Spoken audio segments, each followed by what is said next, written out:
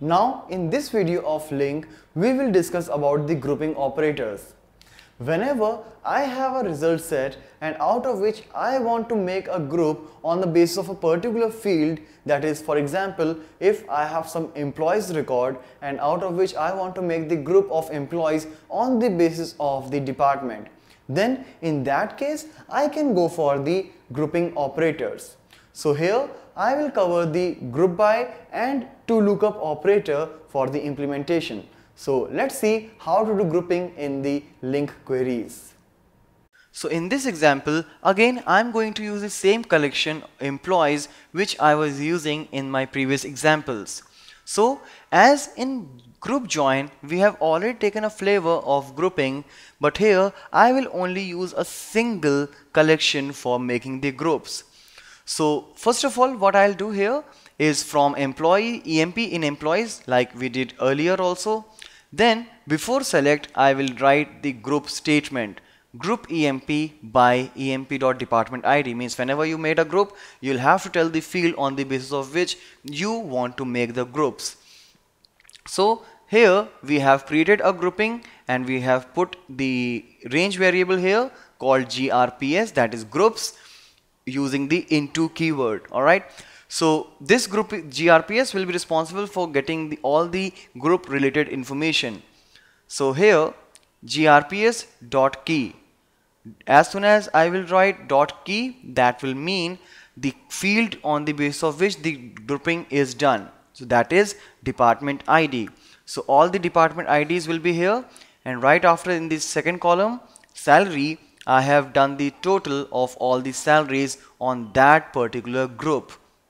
That means the salary of all the employees of department 10 will be summed up similarly for the 20 30 and 40 so this is how you can do the sum or maybe any other function but this is how you can do the group. So let's execute this one and here you can see that key that is the header for that particular column and after that all the departments that is 10 20 30 40 are being here along with the sum salary of that particular department if you want to do the grouping then you can just if you want to pass the alias, then you can do it in the very same way as we used to do earlier.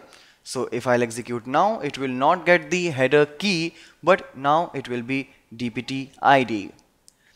So this is about the group operator right here for making the groups. Now let's have a look on the another operator that is to lookup.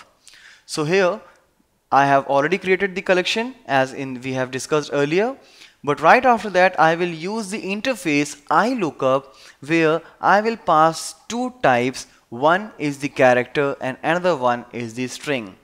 So what I'll do here, as you can see in the details, I have few records with a specific name.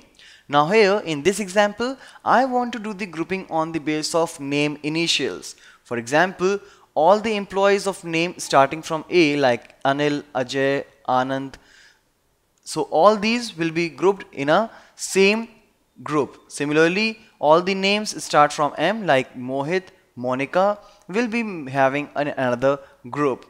So in the same way I want to do. So what I'll do employees dot to lookup and right after this as you can see in iLookup I have passed two types in a generic. First is the character and second is the string. So we'll have to make sure the first thing which we are passing here should be a character. So for that I have used convert.toChar function and right here x means that is my parameter of employee type. You can pass anything out here. So I'll take name and the first alphabet of my name using the substring. So starting from the zero that is means from the first character I'll take one character and that will come as a string but later I will convert that into a character. So from this first parameter in this way we will get the first alphabet of the name which I will use for making the groups. And in the second one I will pass the name of that particular employee along with the salary. Alright, so you can just pass any separator out here like colon. So A and then the respective name of the employee and the salaries.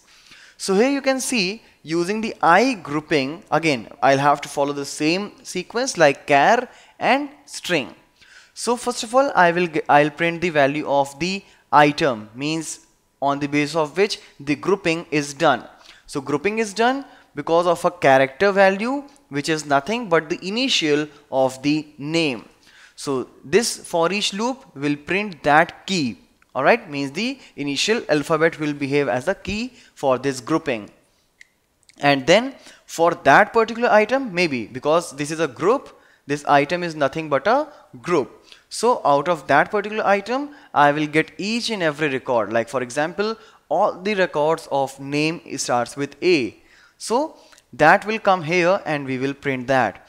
As you can see here we are not passing anything because here we have done the formation. What I wanted name separated with a colon and then the salary. So let's execute to see the output. And here you can see A, then all the four records, Anil, Ajay, Amod, Anand with the respective salary separated by a colon. Then same case is with the M, then again name separated with the colon, then salary. Same case with R and S.